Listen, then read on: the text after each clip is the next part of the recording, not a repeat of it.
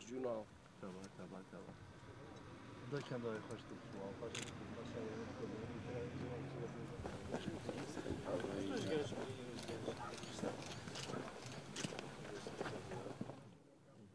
Bom, nós estamos aqui na, na zona do Covão, no Estreito, para uh, dar conta da obra que a Câmara Municipal de Câmara de Lobos, em boa hora, efetuou,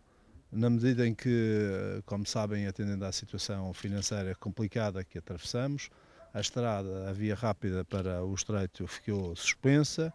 e fazia todo o sentido que esta estrada, que vem de Câmara de Lobos até aqui a zona do Covão Estreito, fosse alcatroada, coisa que não acontecia já há muitos anos e o estado em que se encontrava não era o indicado nem o aconselhado para servir uh, tanta população como esta aqui do Estreito e particularmente desta zona. Uh, nós estamos naturalmente satisfeitos por poder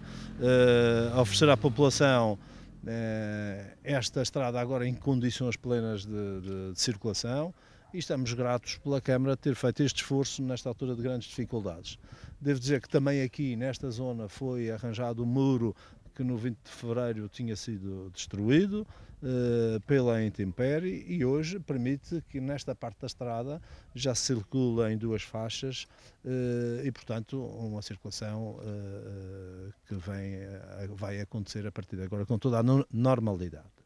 Eh, devo dizer que nesta circunstância que o Governo Regional também vai uh, tratar da pavimentação da estrada que vai uh, dar ao Jardim da Serra, coisa que deve começar já para a semana e que nós pensamos estará concluída até a final do mês de, de setembro.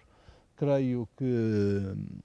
resumindo, que apesar das grandes dificuldades financeiras que atravessamos, estamos a fazer todos os esforços para conseguir uh, apetrechar uh, os diversos conselhos das vias uh, de circulação mais importantes em melhores condições do que se encontravam antes. A extensão desta, desta obra é de 8 mil metros e qualquer coisa, portanto 8 quilómetros. O custo é que o Sr. Presidente da Câmara é que saberá dizer, porque trata-se de uma obra municipal.